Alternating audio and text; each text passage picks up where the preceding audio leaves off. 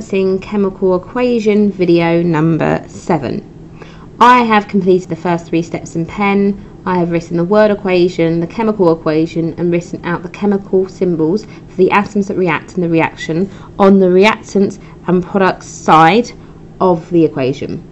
I now need to count the number of atoms of each element that react on the reactants and products side in pen by tallying.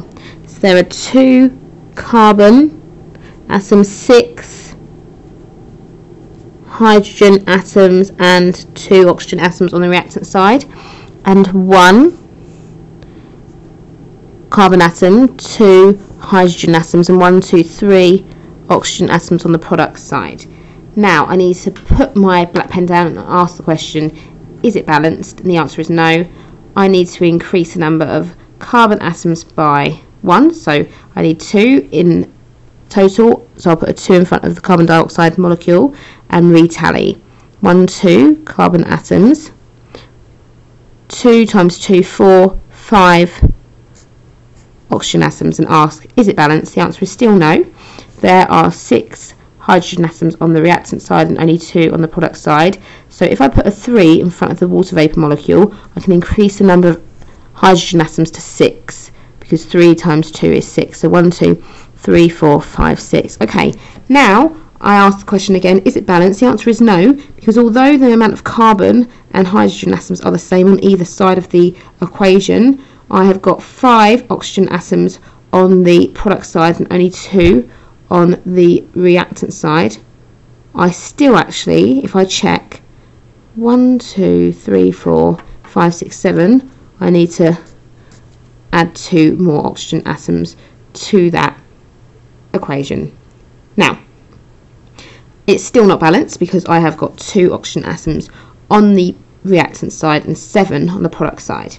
What I would recommend that you do to start off with is put a number with a fraction in front of the substance that has the atoms that you need to increase in number.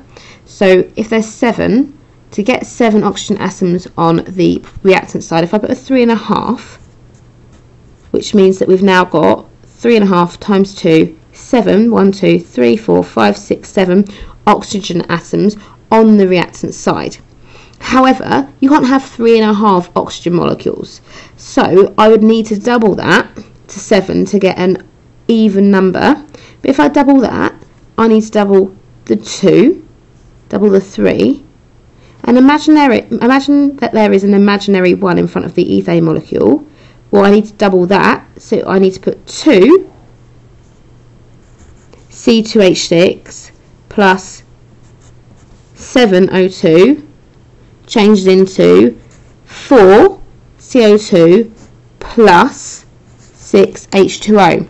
So if you have got an odd number of atoms on one side of the equation, put a, a whole number in a fraction in front of the substance that you need to increase the number of atoms in and then double that number and double all of the other numbers. Remember if there's no number in front of one of the substances it's like an imaginary one so double that as well to 2 and that's how you balance that kind of equation